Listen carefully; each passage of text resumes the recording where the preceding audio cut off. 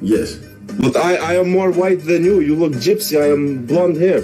Blonde hair I have. You gypsy. That means that someone fucked your mother that is Turkish, but your father is not. Oh, your mother is a whore and she got fucked from someone.